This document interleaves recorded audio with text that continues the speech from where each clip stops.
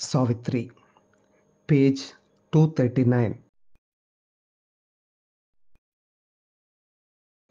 A memory soft as grass and faint as sleep.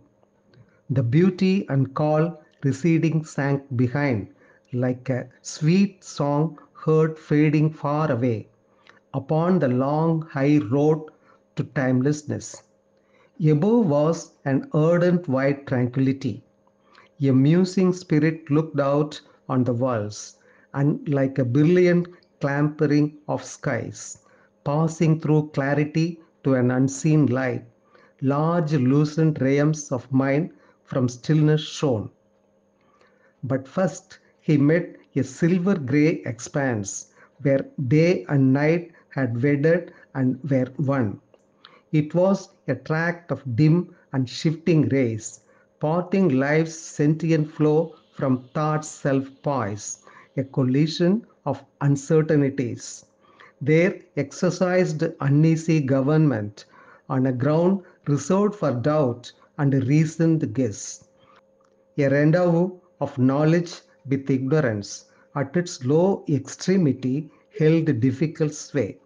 A mind that hardly saw and slowly found its nature to our earthly nature close and kin to our precarious mortal thought that looks from soil to sky and sky to soil, but knows not the below nor the beyond.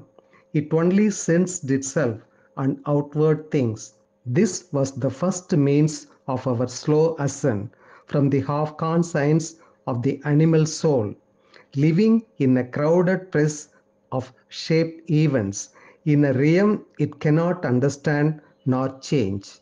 Only it sees and acts in a given scene, and feels and joys and sorrows for a while.